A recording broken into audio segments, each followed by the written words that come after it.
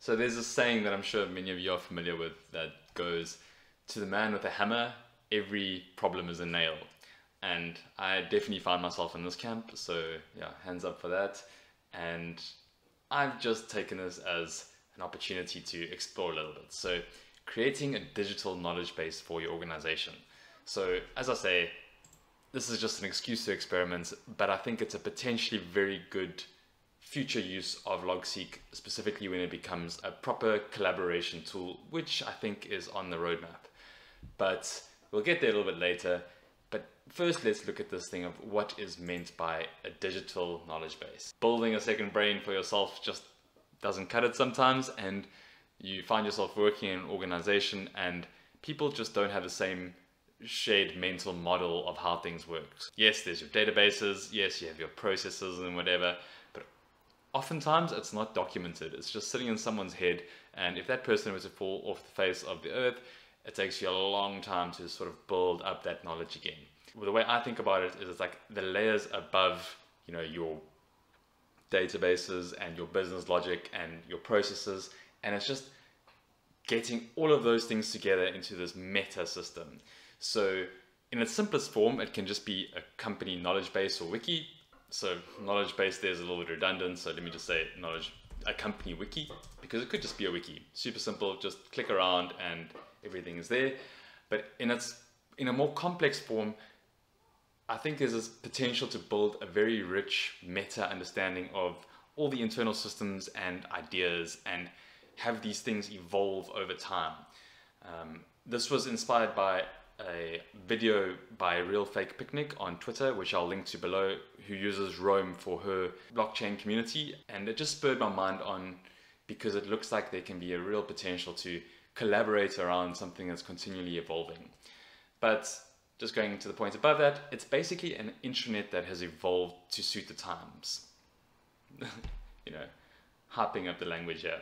So as I said, I'm actually just using this to experiment and this is more of a future potential thing. The things that I was experimenting with, A, the format, it's a little bit different, half-baked. I haven't really put as much time into structuring this, but yeah, I just wanted to look at these few things. So the new logseq graph, namespaces, using markdown headings, and then using emojis in page names for the first time. So let's get into each of these different points first before we actually click around this knowledge base and see what it looks like. So if you want to skip to the knowledge base and see what it looks like, use the timestamps below, but um, I think a few people might be interested in the features. So let's call this features. That is what I was experimenting with. Logseq has recently updated the graph and it is now, actually that's my graph. Let me rather go to my other base, which is opened in the desktop app. Okay, cool, so I'm already there. So Logseq has, has updated the graphs to be much simpler and quicker loading. So the, the older graph used to take a little bit of time to load, particularly if you had lots of blocks in your database or if you had very long um, page entries in your database. I had none of those. I didn't have any problems, but I am still enjoying this new look graph. And you can see here, there's also colors. I'm not so sure exactly what the colors mean. I haven't really ascertained just what that means yet, but, um, oopsie. But there's a cool feature of when I click on this page and I move it around, I can see everything that's linked to it. Um, I think this was available in old graph, but I, I can't actually remember now. So it's just a very nice way to see where all your links are. For those who aren't very familiar with a graph and you're just finding this for the first time, the nodes here are pages and the edges or lines are links between pages. So I've just refreshed my graph and something's changed it, but it's fine. But I can see here that when I click on that link and I see these, these lines here, I see that there's a connection between these two pages. Let me just move that into my face so that my face doesn't block it. So that is how the graph works. Very, very cool, very powerful to just like scoot around your thoughts and, and see everything as a network. So that brings us to the next thing that I want to look at, which is this using namespaces. So you can see here, I've got a whole number of roles. And the way that I've done that is I've used the forward slash namespace. If I want to enter a new role, so for instance, maybe I was got a role of project manager, what I do is I just say role forward slash project manager. And what that does is it creates a link to this hierarchy of roles. So the project manager has a role. And if I go there and I look at that hierarchy, that's where I find it. And I can click on that and I can find, let me just collapse that there. I can find here all the different roles that have been created with this um, namespace. So that is what namespaces mean. It just allows you to create a hierarchy in your database. I'm not so sure if I'm going to use this in the long term. I was just experimenting with it a little bit. It's not working 100% smoothly for me. My way of working is perhaps not accustomed to it yet and I need to adjust it. So that's just a heads up that I probably don't really know what I'm talking about. But what it does in your in your actual text files is it creates a period. So this goes to role period tech manager. So it doesn't create two pages but it allows you to create a link to both the upper level hierarchy of role and to the lower level of tech manager. Just to also be clear, if you are wanting to bring up your menu, you also use that forward slash, but this is different. The one that I wanted to go into next was markdown headings. So markdown headings, super cool. Let me just go to my reference page. Reference headings. Okay, cool. So here you can see that I've got all these different levels of heading. And the way that I do that is using markdown hashtags. So hashtag space, this is heading one, gives me heading one. So if I want to enter what I see on the first line there, then I will just say hashtag and I'll say, what a cool heading. But now I can change the level of this just by adding more hashtags here. So hashtag two makes it level two, hashtag three makes it level three, four hashtags, level four, etc., etc. But what you shouldn't do is not leave a gap because what that will do is it will create a linked page.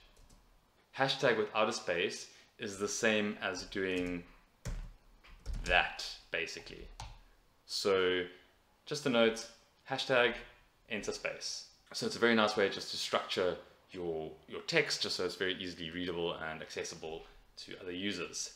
The final thing that I wanted to do was use emojis and page names for the first time. So this is just a nice excuse where I could um, actually go and bring in some emojis to just bring color. So this is using a whole bunch of areas in our business. Um, let me actually go here and you can see if I go to services, let me go to the hierarchy page of services. Uh, there's Airtable and mini extensions. Um, let me go to areas and you can see there all of these emojis and they work pretty well. There's one or two things that I've found that um, haven't really worked, but it's just a nice visual way to, to link to pages. Obviously, you can use this in many different things. So the evergreen people or people who use um, Andy Matuschak's model, like with the evergreens and the seedlings, it's very nice to have your little emoji of a seed. So I can create a link seedling there. So how do I get these emojis? Very simple, just Windows key and the period or full stop if that's what you call it. And then you can just have this little cool guy with sunglasses. If you're on a Mac, I'm sorry, I don't know. Um, I'm sure it's a, it's a very similar shortcut there. So Mac key and period. So clicking around to see what this looks like. So you've already seen this and I've been clicking around a little bit, but it's just a hyperlinked way to navigate around your base. So a key thing that I'm actually trying to achieve here is show dependencies. So if I go to hmm, Tech Team SOPs, for instance, I've actually queried. So in my previous video, you saw how to do queries um, of this nature, but I can see I've, I've, I've created a, um, the query, which this will be like their landing page where they can see all their SOPs. And then if I go into this, um, some important process here, let me just open up on the right. Let me actually open it up in the main page. you can see here that I've got the metadata that this is an SOP and that the services it uses is Airtable. And the areas that it affects are recruitment, learner management, and tech. And then I've, I've used Markdown to delineate my, my um, text in a nice way and make it nice and readable. And then I've put there what the different roles of people need to do. And it's also specifically so that you know it's not a person that's linked there because if a person leaves, then goodbye. How will you know what, what you need to do? But if I go to this role, head of learner management, I can see there that I've actually linked a person to that head of learner management. And I go to this person and I can see, oh, he's got um, this role associated with his name. I haven't used that as a property just yet because, you know, too many different things at once and my expertise is not quite there to know how all of these things will manifest in the end. And, and I think that's one drawback. Like it does require a lot of clever structuring in order to get this to work really well. But there's a nice picture of John John Jones and a nice intro of him as well, maybe a, a, link to a video so that someone who's new to the company can go and find that information. And that when John leaves, I can just, you know, delete his role over here. And that's that. He's unlinked. I can link someone else into the role. Okay, cool. So another thing which I want to look into is I've got this thing which is a portal and I can see that hmm, I've got these link references here and portal is what is a portal? It's a type of thing in my database. Oh, and I've got three different things here where portal, form, and everything is linked. And I haven't got anything linked to forms yet. Or have I? No. But the idea here is that I will have all the services mapped out um, on my entity relationship diagram or just you know some graphic which shows the process flow through the company. But then when I enter it into a documentation form, it makes me think a little bit more about it and it also becomes a repository that other people can go to and see what these dependencies are and how all these different services fit together. Because whilst um, your process flow diagrams are great, like there's another level of shared information that really makes it a valuable resource for the company. So we've, we've looked around what it might look like and I think there's a lot of work required here. So please don't assume that I'm, I'm, I'm, saying that this is how you might do it.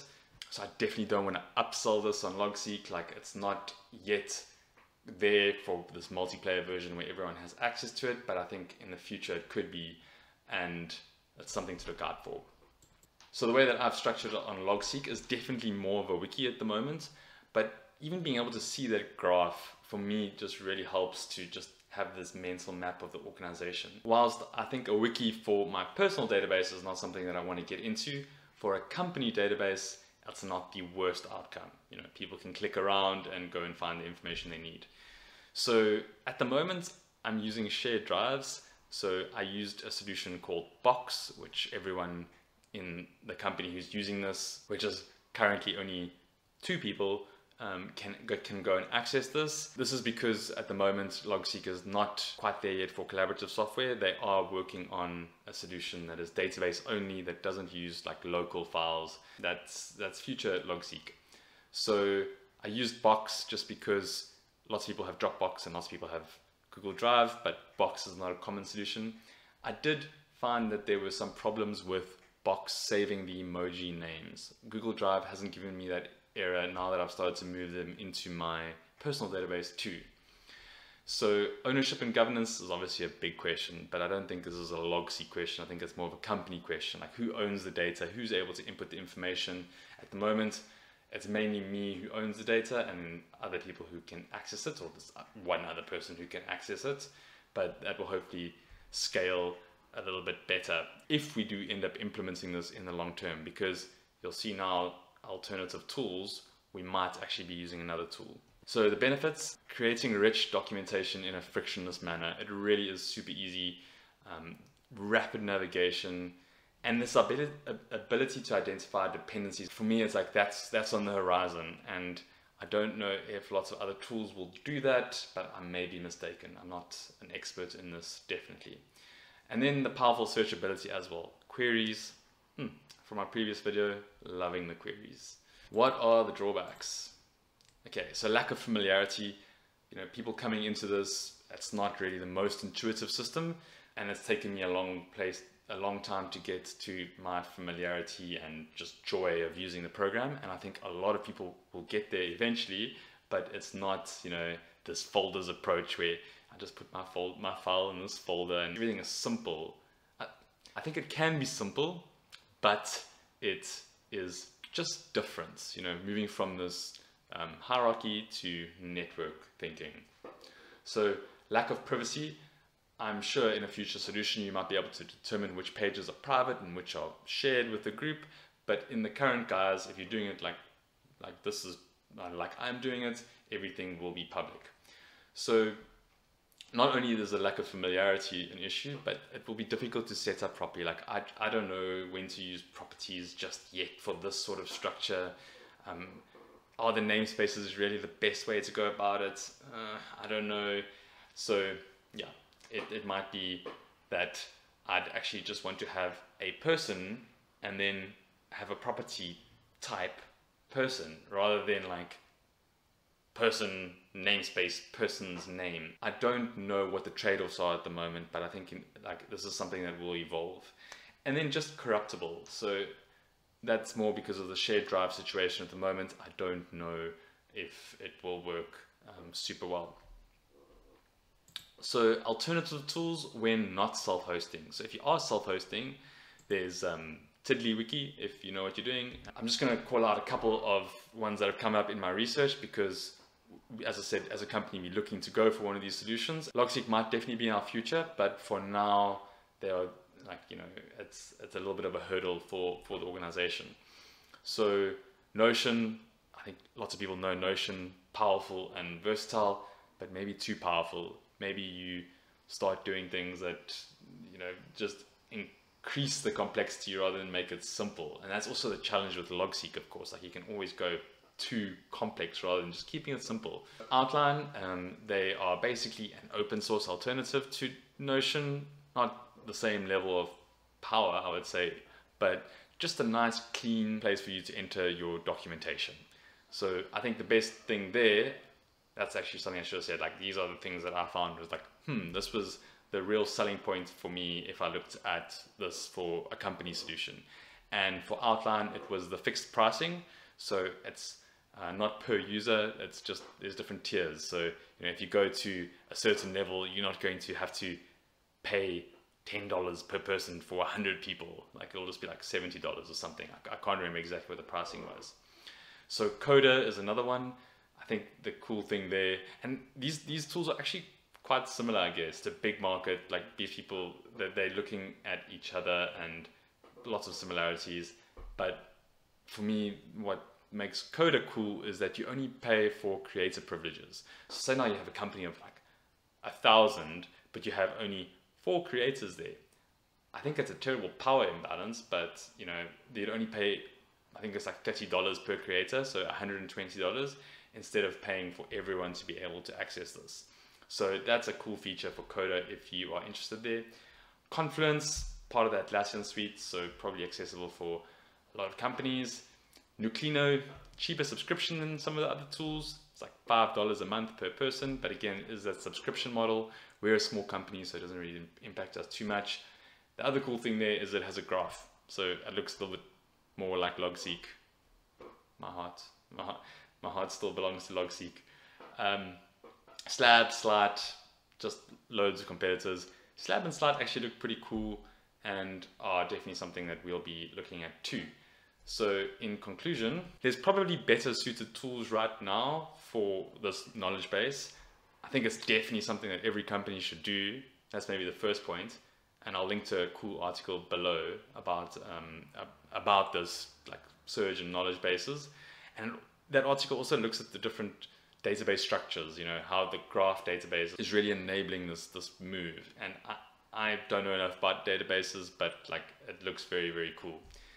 And yeah, I guess the final point there is definitely something to watch going forward. So keep your eyes peeled on the Logseq team. They've done some amazing things, and I don't put it past them to make an amazing collaborative tool that will allow people to build knowledge bases. So yeah. Thanks so much for watching and um, I'll see you soon.